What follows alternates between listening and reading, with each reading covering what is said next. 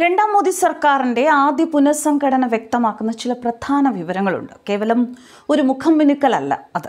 കേന്ദ്ര സർക്കാരിന്റെ ഭരണ സംവിധാനങ്ങൾ കൂടുതൽ മികവുള്ളതാക്കാൻ കൂടുതൽ വിദഗ്ധരെ ഉൾപ്പെടുത്തുക എന്ന മികവാർന്ന മോദിയുടെ ഭരണതന്ത്രം. അതാണ് പുനഃസംഘടനയിലൂടെ രാജ്യം ഇതുവരെ കണ്ട ശക്തനായ നേതാവ് നരേന്ദ്രമോദി ഭാരതത്തിന് കാട്ടിത്തരുന്നത്. ഇത് സംബന്ധിച്ച വാർത്തകൾ പ്രചരിച്ചു തുടങ്ങുമ്പോൾ മുതൽ അസാധാരണ മാറ്റങ്ങളാവും ഇത്തവണ എന്ന തരത്തിലുള്ള സൂചനകളാണ് ബി ജെ പി നേതൃത്വത്തിൽ നിന്നും ലഭിച്ചത്. ഇക്കഴിഞ്ഞ ബുധനാഴ്ച മുപ്പത്തിയാറ് പുതിയ മന്ത്രിമാർ സത്യപ്രതിജ്ഞ ചെയ്ത് അധികാരമേറ്റതോടെ എത്ര സമഗ്രമായ മാറ്റങ്ങളാണ് പ്രധാനമന്ത്രി നരേന്ദ്രമോദി തന്റെ ടീമിൽ വരുത്തിയതെന്ന് കൂടുതൽ വ്യക്തമായി. മുതിർന്ന പന്ത്രണ്ട് കേന്ദ്രമന്ത്രിമാരെ മാറ്റി നിർത്തി യുവ നേതൃത്വത്തെ ഭരണമേൽപ്പിച്ച മോദിയുടെ നീക്കം അപ്രതീക്ഷിതമെന്നാണ് പ്രതിപക്ഷ നേതാക്കളടക്കം പറയുന്നത്.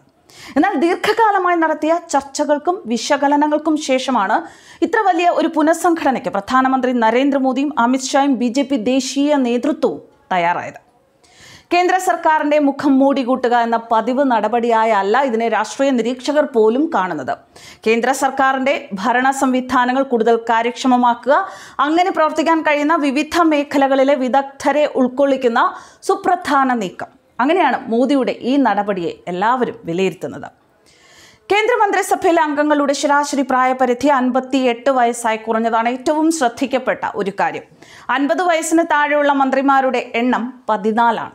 യുവാക്കളും വിദ്യാസമ്പന്നരും ഭരണപരിചയമുള്ള മുതിർന്ന നേതാക്കളും അടങ്ങിയ കുറ്റമറ്റ ടീമിനെയാണ് പുനഃസംഘടനയിലൂടെ പ്രധാനമന്ത്രി മുന്നോട്ട് വച്ചിരിക്കുന്നത്.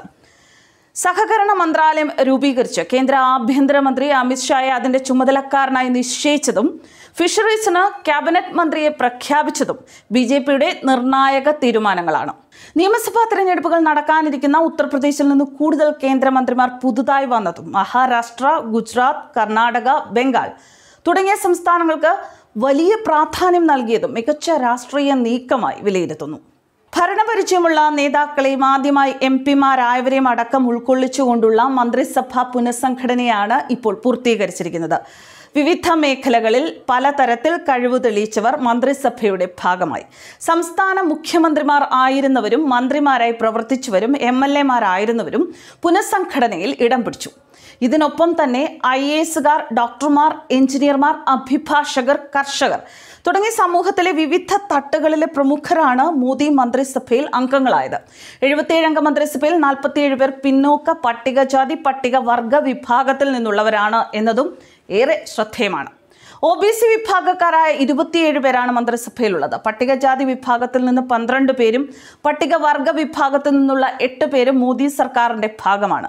സവർണ പാർട്ടി എന്ന ലേബൽ ചാർത്തി സമൂഹത്തിലെ വലിയൊരു വിഭാഗം ജനങ്ങളെ ബി നിന്ന് അകറ്റി നിർത്താൻ ശ്രമിക്കുന്ന പ്രതിപക്ഷ പാർട്ടികൾക്ക് മുന്നിൽ സാമൂഹ്യ സമരസതയുടെ ഏറ്റവും മികച്ച മാതൃക തന്നെ മുന്നോട്ട് വയ്ക്കാൻ പ്രധാനമന്ത്രി നരേന്ദ്രമോദിക്ക് സാധിച്ചു.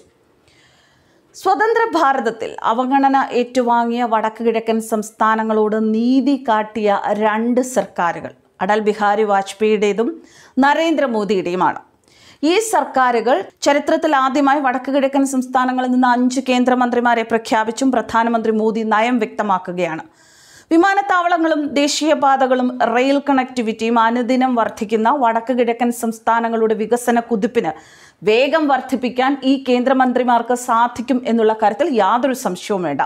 വടക്ക് കിഴക്കൻ മന്ത്രാലയങ്ങളുടെ ചുമതലയ്ക്കായി ക്യാബിനറ്റ് റാങ്കിൽ തെക്കേ ഇന്ത്യക്കാരനായ ജി കിഷൻ റെഡ്ഡിയെ നിയമിച്ച നടപടിയും ശ്രദ്ധേയമാണ്. തെക്കേ ഇന്ത്യൻ സംസ്ഥാനങ്ങൾക്ക് പുനഃസംഘടനയിൽ വലിയ പ്രാധാന്യം ലഭിച്ചു. ശോഭ കരന്തൽജെ രാജീവ് ചന്ദ്രശേഖർ എൽ മുരുകൻ എ നാരായണസ്വാമി ഭഗവന്ത് കുബ തുടങ്ങിയ അഞ്ചു പേരാണ് കേന്ദ്രമന്ത്രിമാരായത്. ആഭ്യന്തര സഹമന്ത്രിയായിരുന്ന ജി കിഷൻ റെഡ്ഡിക്ക് ടൂറിസം സാംസ്കാരിക മന്ത്രാലയങ്ങളുടെ ക്യാബിനറ്റ് ചുമതല ലഭിച്ചതും തെക്കേ ഇന്ത്യൻ സംസ്ഥാനങ്ങൾക്ക് മോദി സർക്കാർ നൽകുന്ന പ്രാധാന്യത്തിന്റെ തെളിവായി ചൂണ്ടിക്കാണിക്കപ്പെടുന്നു. എം പി പോലുമല്ലാത്ത എൽ മുരുകനെ കേന്ദ്രമന്ത്രിസഭയിലേക്ക് പരിഗണിച്ചത് തമിഴ്നാടിന് മോദി നൽകുന്ന പ്രത്യേക താൽപ്പര്യത്തിന്റെ അടയാളമാണ്. ഇനി ഉടൻ ഒഴിവ് വരുന്ന രാജ്യസഭാ സീറ്റുകളിൽ ഒന്ന് മുരുകന് നൽകാനാണ് ബി ജെ പിയുടെ തീരുമാനമെന്നും അറിയുന്നു.